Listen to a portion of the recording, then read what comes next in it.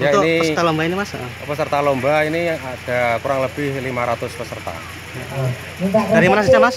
Untuk pesertanya kita lintas dari Provinsi Jawa Timur, Jawa Tengah dan ada peserta dari Jawa juga dari Bandung juga ada. Mulai Surabaya ke arah timur itu sampai Tuban, Madiun, Ngawi, sampai timurnya Jawa Tengah itu ada dari Rem- eh, Rembang, Randu Blatung dan Cebu juga.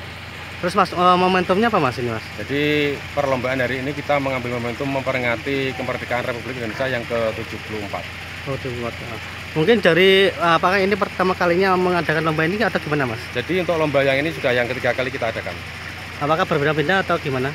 Ya kita lakukan berpindah-pindah karena kita mengingat jumlah peserta yang membludak, kita cari lokasi yang agak luas. Apakah ini akan ada penilaian yang nantinya akan ada dapat hadiah mas pesertanya? Ya jadi untuk hadiah utama ini ada dua, nanti satu itu dilakukan dengan cara penimbangan terberat, yang kedua nanti akan dilakukan pengundian.